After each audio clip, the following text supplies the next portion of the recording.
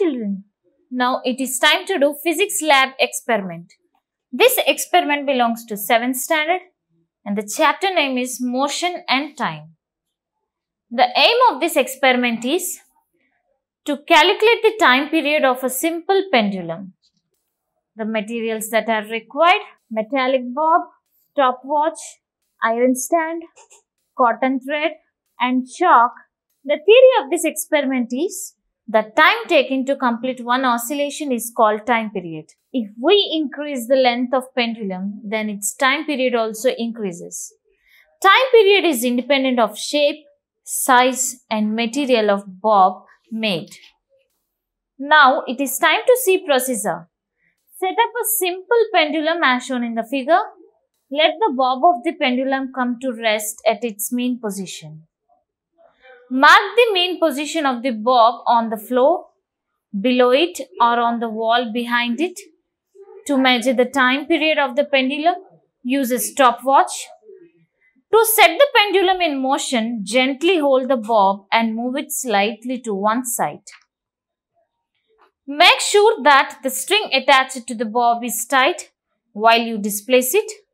Now release the bob from its displaced position.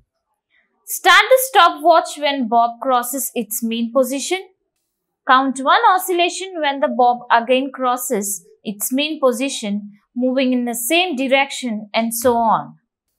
one, two, three, four, five, six, seven, eight, nine, ten, eleven, twelve, thirteen, fourteen, fifteen, sixteen, seventeen, eighteen, nineteen, twenty. So what did you observe my dear children? The observation is the first time taken for 20 oscillations is 25 seconds and the time period is 1.25 seconds.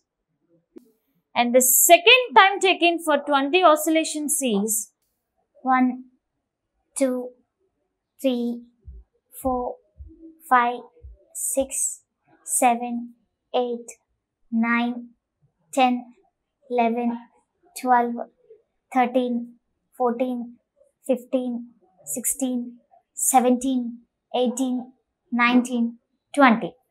and the second time taken for 20 oscillations is 24 seconds.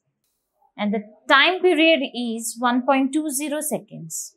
And the third time taken for 20 oscillations One, two, three, four, five, six, seven, eight, nine, ten, eleven, twelve, thirteen, fourteen, fifteen, sixteen, seventeen, eighteen, nineteen, twenty.